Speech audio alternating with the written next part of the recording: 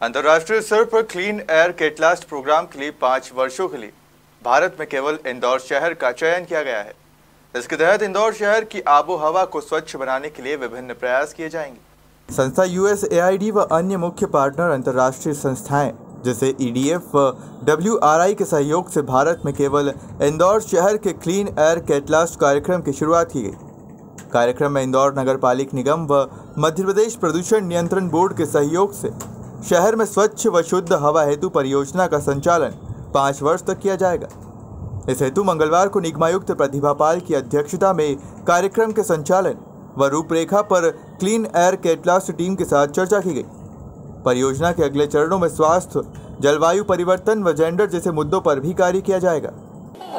पूरे विश्वव्यापी जो इस समय का सिनेरियो है, उसमें क्लीन एयर को ये माना जाता है कि हमारे यहाँ लिविंग स्टैंडर्ड लोगों का क्या है और जिस शहर का जो एयर क्वालिटी इंडेक्स है उसमें जितना अच्छा परफॉर्मेंस रहता है, वो उस शहर के लोगों के लिए वो शहर उतना अच्छा रहने लायक होता है, क्योंकि हम लोग देखते हैं कि आजकल की जो अधिकतर बीमारियाँ हैं, वो वायु प्रदूषण की वजह से होने वाली बीमारियों की संख्या और मात्रा बहुत ज़्यादा है।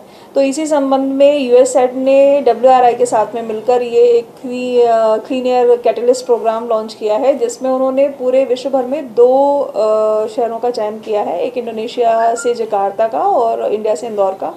उद्देश्य इसके पीछे ये है कि हम लोग जो यू की टीम है और डब्ल्यू की टीम है, वो निगम की टीम के साथ में मिलकर, जिसमें एम का भी एक बहुत महत्वपूर्ण रोल रहेगा पोल्यूशन कंट्रोल बोर्ड की भी टीम रहेगी। इसमें ये पूरी स्टडी की जाएगी, जिसको सोर्स अपॉर्चुनमेंट स्टडी कहते हैं, जिसमें बेसिकली उन सोर्सेज की स्टडी होती है, उनका आइडेंटिफिकेशन होता है, जिनकी वजह से शहर में पोल्यूशन होता है।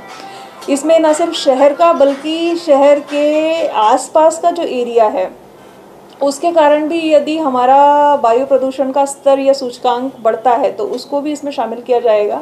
ये तीन तरीके से काम करेगा। पहला पहला सबसे पहला आइडेंटिफिकेशन होगा ऐसे सोर्सेस का। दूसरा, इसको कैसे समाप्त किया जाए या कैसे कम किया जाए, इसके रणनीति और इसकी जो पूरी तैयारी करनी है, वो उसका एक एक्शन प्लान बनेगा। एंड थर्ड इसके मिटिगेशन के लिए जो करेक्टिव मेजर्स नगर निगम को लेने हैं, वो हम लोग लेंगे।